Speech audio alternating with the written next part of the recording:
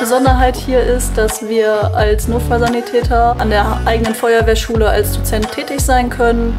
Das ist sehr schön, weil man sehr nah am Team ist, man sich gegenseitig unterstützt, man voneinander lernt. Ja, macht sehr viel Spaß.